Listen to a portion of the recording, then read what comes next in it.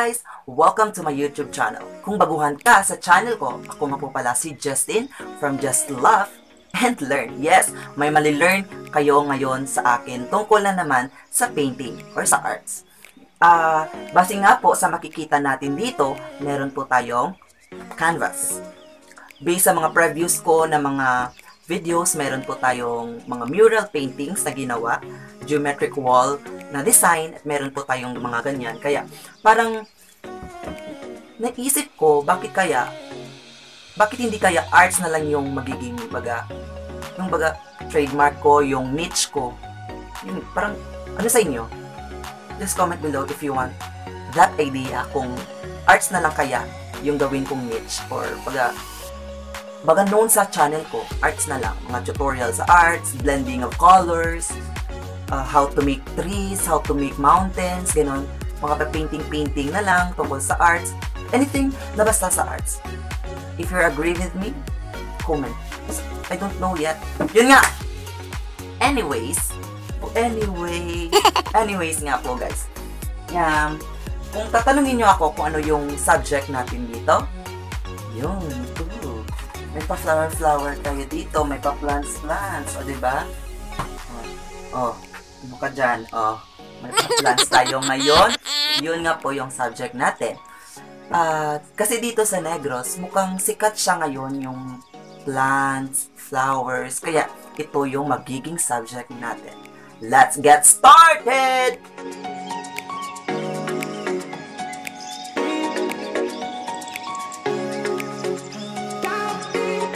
Nga guys, tapos na po tayo mag-sketch and maraming nagtatanong sa akin kung ano bang pintura o particular na paints na gin ang ginagamit ko. Uh, ang sagot ko po dyan, simpleng-simple lang, mabibili lang po siya sa mga hardwares natin at actually madaling-madali lang talaga siyang bilhin. Kagaya nito, gumagamit ako ng Davis uh, paint or Apricolor. This is Hansa Yellow. Ito yung ginagamit ko at sometimes gumagamit din ako ng mga Triton ito. At marami pang mga brands na uh, basta uh, latex lang siya. Start tayo. Let's go!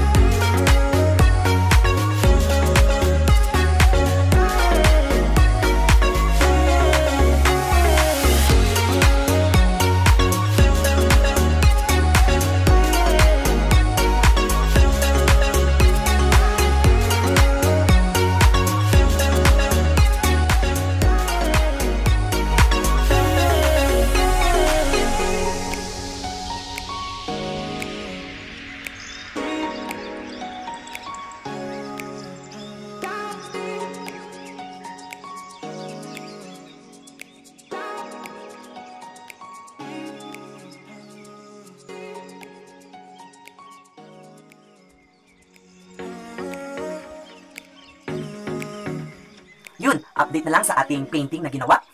Ito na po siya.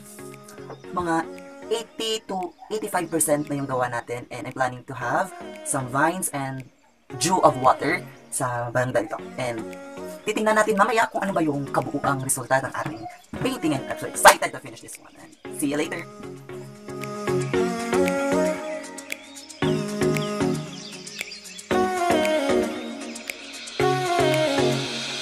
Yun! Guys, I have a problem.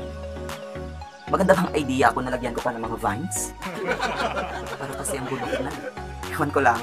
Ano sa inyo? Pagpatuloy ko pa ba? Or itatapon na lang natin to. ang pangit kaya.